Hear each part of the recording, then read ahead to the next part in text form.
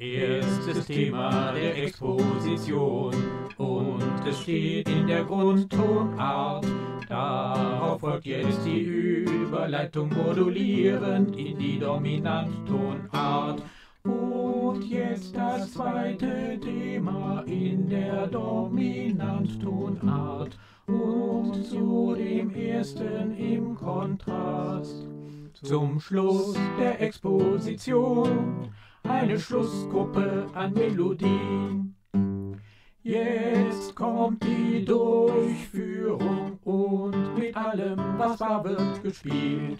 Möglichst mit viel Fantasie, dabei wird moduliert, zurück in die Haupttonart. Erstes Thema jetzt in der Reprise, wieder stets in der Grundtonart. Darauf folgt jetzt die Überleitung, aber diesmal bleibt's in der Grundtonart. Und jetzt das zweite Thema, diesmal in der Grundtonart.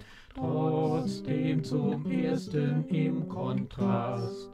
Zum Schluss auch der Reprise eine Schlussgruppe an Melodie. Vielleicht noch eine kleine Coda